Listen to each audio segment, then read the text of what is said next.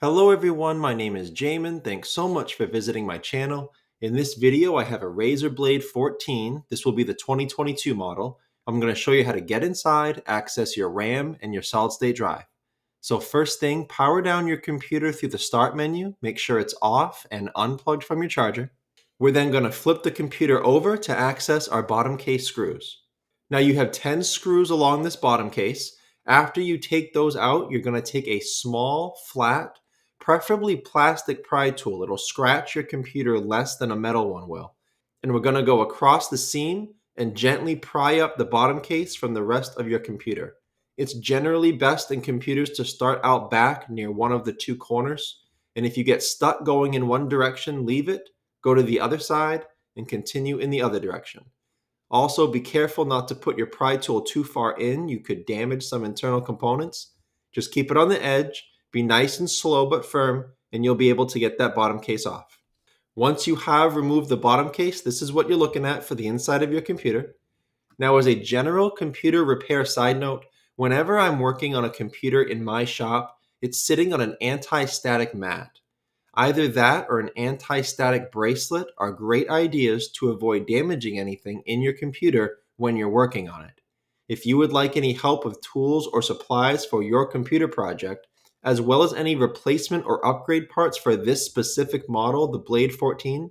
There will be a link above, also below in the description, and it'll be a list of all those tools and supplies and replacement parts. Now, before touching anything in a computer, it's always best to remove or at least unplug your battery. Computers are safer to work on when as little power as possible is running through them.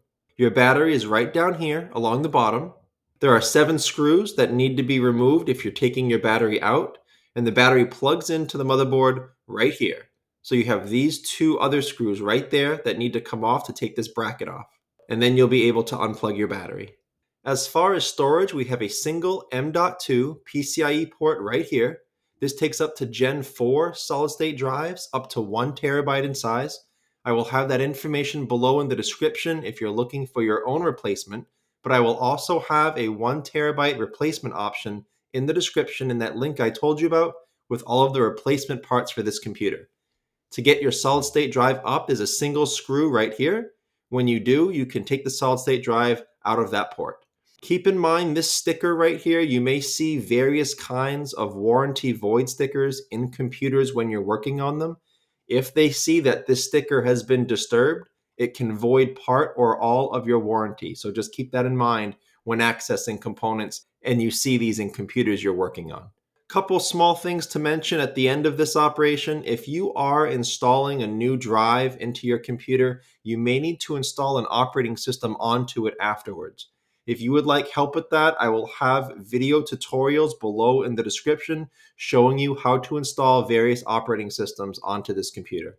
Also, if your old drive is bad and you think you've lost the data, uh, with some data recovery options, it's usually possible to recover data even on a bad drive.